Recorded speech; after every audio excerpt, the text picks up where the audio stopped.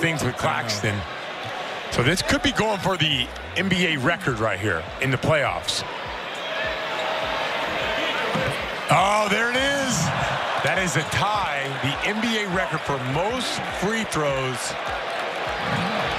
without a make. And this would break Shaq's record. Not every day you get to witness history. No, you don't. And um, there it is. Oh. There it is. It was convincing, too, wasn't it? I couldn't remember how.